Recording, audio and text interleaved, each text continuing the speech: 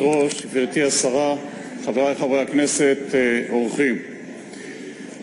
ראיתי את הצעות האי-אמון של סיעות האופוזיציה על אובדן הדרך של הממשלה בתחום המדיני, החברתי והכלכלי. איך לומר בחייכם, טלו קורה מבין עיניכם, מעט על חוסר אחריותכם. כשבאתי היום לבניין הכנסת ראיתי פנים מוכרות, ראשי הרשויות של הצפון, את חלקם הכרתי בעת ששירתתי שנים רבות בגבול הצפון, את רובם הכרתי בשנים האחרונות שבהם אני משרת כאן בכנסת. מודע מאוד לפערים הזועקים לפיתוח הצפון.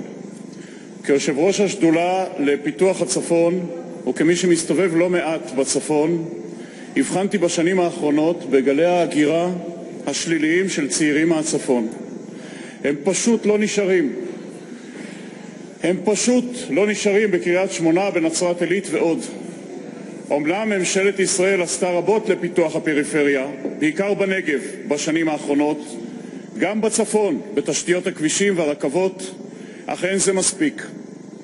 הבחנתי שהפערים בתחומים שונים בצפון ביחס לאזורים אחרים זקוקים ומחייבים תוכנית רחבה יותר על מנת לייצר בגליל מנועי צמיחה דמוגרפיים משמעותיים לחיזוק הצפון ולעידוד צעירים להישאר ולבוא לגור בצפון. חייבים לתקצב את התוכנית הרב-שנתית, תוכנית רחבה לפיתוח הצפון, בפיתוח כלכלי ותעסוקה, בדיור ובבריאות, בחינוך, בתיירות ובביטחון. בעת ששירתתי בצפון המטרה היתה להגן על יישובי הצפון, וחברי חבר הכנסת אראל מרגלית, אני משוכנע שאנחנו מסכימים בינינו, מטרה שהייתה תלויה בכל מוצב, בכל מקום בצפון.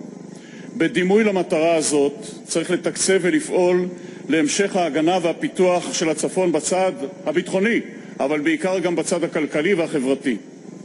אז הגיע הזמן באמת להתגייס יחד ולבנות רצועת ביטחון כלכלית וחברתית לצפון, להקשיב לראשי המועצות שם ולהבין מה דרוש, ולהקים בצפון חממות של ידע, טכנולוגיה והשכלה, הייטק ואוניברסיטה אזורית, שירותי רפואה מפותחים, מקומות תעסוקה ועוד. דווקא אני, כחבר קואליציה, קורא מכאן לראש הממשלה, לשר האוצר, לשר הפנים, שר פיתוח הנגב והגליל, שישבו יחד ויעלה עשן לבן לקבינט ולממשלה כולה, שלא ישמיטו את התוכנית לפיתוח הצפון מתקציב המדינה, היא חיונית לשמירת הצפון. עלינו לפעול בדיוק כמו שאמרתי, כפי שהיה כתוב אז במוצבים. המטרה, הגנה על יישובי הצפון, את המטרה הזאת צריך להשיג בתקציבים ובתוכניות לפיתוח. צריך לדאוג שהשלט הזה, בפרפרזה שלו, לא ייפול מהקיר.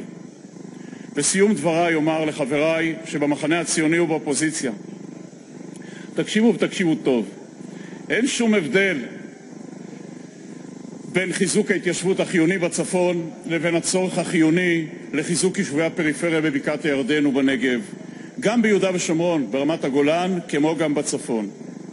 כחבר בקואליציה, יחד עם עוד חברי יושבי-ראש הקואליציה, יושב פה חברי חבר הכנסת איל בן ראובן, כחבר מפלגת הבית היהודי נתגייס כולנו לוודא שבמסגרת התקציב הדו-שנתי הקרוב נדרוש את הכללת התקציב הדרוש, שלא ייפול חס ושלום, את התוכנית לפיתוח הצפון, שתתוקצב ותצא אל הפועל. תודה.